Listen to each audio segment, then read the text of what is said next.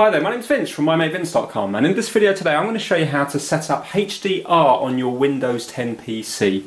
So HDR stands for High Dynamic Range and basically it makes the colours much nicer on screen.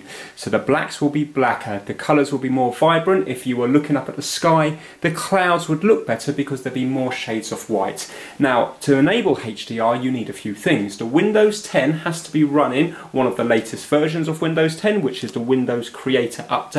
Also, your TV has to be HDR enabled. Normally, it's the 4K TV. So the newer TVs that are 4K and also HDR. And lastly, your GPU, your graphics card, has to be able to support HDR. So you can just check online whether your model does or not. In this video I'm using an NVIDIA GTX 1070.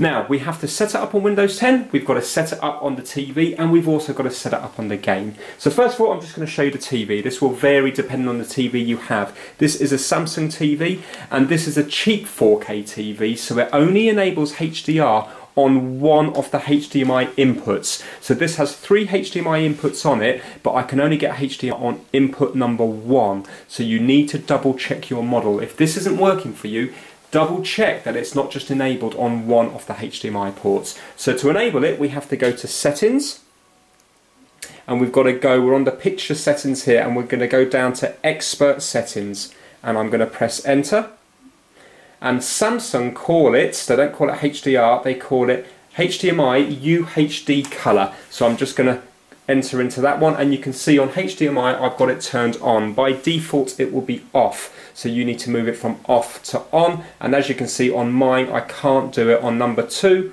or HDMI 3. Okay so that's the TV side of it done. Now we need to do it on the Windows 10 PC. Now before you do that, I just want to show you on the game how it's not recognising HDR. So even though I've got it turned on on my TV, because I haven't got it turned on on Windows 10, it's not recognising it. So if I go to video here, you can see up the top here, it just says basic, advanced and calibration. When we change it over to HDR, it will say basic, advanced and HDR. So let me exit out of this. Now you are going to have to exit out of it because if you just change it over and go back into the game, it still won't be there. You need to exit out of the game and then load the game up again.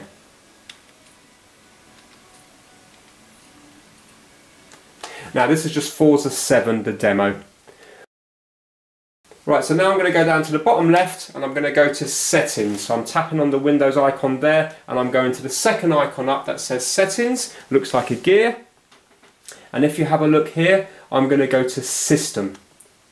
And now under system, I've got an option here for HDR and advanced color. At the moment that is off, so I need to turn that to on.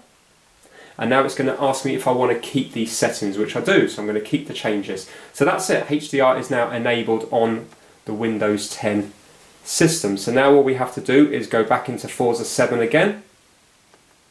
And now we're going to enable it in Forza 7. So I'm just going to fast forward through this bit. Okay, so now if we go to options, and now if I go to video again, now have a look up here, it says HDR, so we've got that new menu now. So I'm just going to left click on that. And now it says here, HDR output, it's on, okay? If it did say off, you just need to change it to on. There we go, and now I need to enter that. It's going to ask me to keep the settings, so I'm going to enter again. And now, that is it. We now have HDR enabled. And what you'll find is the colours will be much more vibrant. So for example, if I was to go to this one now, when you've got HDR, these blues are much more vivid than when the HDR is turned off. So if you've got the option to enable it, definitely do it because it really does make a big difference. So I hope you enjoyed the video. Please give it a thumbs up if you liked it and please subscribe for more how-to videos. Take care. Bye now.